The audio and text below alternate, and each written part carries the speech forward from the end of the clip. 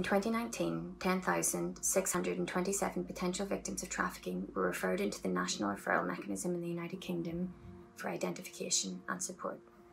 That's a 52% increase in referrals since 2018. Unfortunately, many more people are becoming vulnerable to trafficking because of the COVID 19 pandemic. Survivors face many challenges when trying to rebuild their lives, including finding decent work.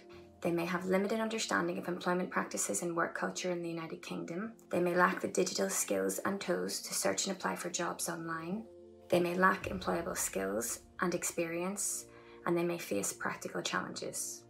In response to these challenges, IOM UK is happy to announce today, on the UK's Anti Slavery Day, that we are finalising a skills development programme for survivors. The first programme will start in November and will initially be delivered online for three months. The training programme will cover three key areas of skills. Firstly, digital literacy skills. Survivors will learn how to use a computer to search and apply for jobs online, to prepare their CV, and to stay safe online. The second area covers life skills, such as understanding systems and support structures in the United Kingdom, rights and responsibilities, and building soft skills for the workplace.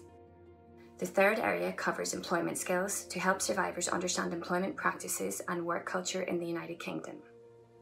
Alongside the skills training programme, survivors will receive personalised support from an IOM caseworker to help them identify their strengths and their interests, to prepare their CV, to apply for jobs, to access vocational training and volunteering opportunities. By next year's UK Anti Slavery Day, we aim to have trained and supported three groups of survivors, improving the curriculum and the materials as we go. We are also designing a framework to measure progress towards employment for the survivors we are supporting.